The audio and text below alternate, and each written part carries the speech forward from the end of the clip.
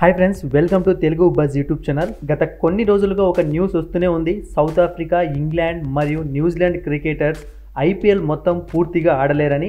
దీనికి కారణం ఏంటంటే సౌత్ ఆఫ్రికాకి పాకిస్తాన్తో ఒక రెండు వారాల టూర్ ఉంది. అది కూడా ఐపీఎల్ స్టార్ట్ అయ్యే ముందు. దీని కారణంగా వాళ్ళు మొదటి రెండు వారాలు మిస్ అయ్యే ఛాన్స్ ఉంది. ఒకవేళ క్వారంటైన్ రూల్స్ అలాంటివి ఎక్కువగా ఉంటే ఇంకొక వారం కూడా పట్టచ్చు.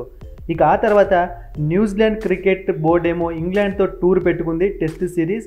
అది ఐపీఎల్ ఎండ్ అయ్యే సమయంలో అంటే నాకౌట్ స్టేజ్ అలాంటి సమయంలో. సో వాళ్ళు కూడా ఇంగ్లాండ్ మరియు న్యూజిలాండ్ క్రికెటర్స్ ఎవరన్నా ఉంటే ఒక రెండు వారాలు మిస్ అవుతారు ఐపీఎల్ని చివర్లో.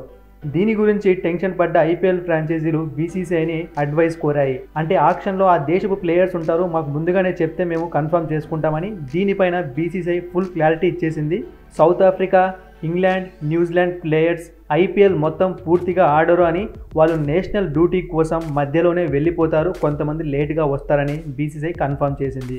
కాబట్టి ఖచ్చితంగా ఇప్పుడు కొన్ని ఫ్రాంచైజీస్ స్ట్రాటజీస్ మారుతాయి. ఎందుకంటే ఐపీఎల్ స్టార్ట్ అయ్యే టైంలో ఎండ్ అయ్యే టైం అనేది చాలా ఇంపార్టెంట్ ఫ్రాంచైజీస్కి మ్యాచెస్ గెలవడానికి.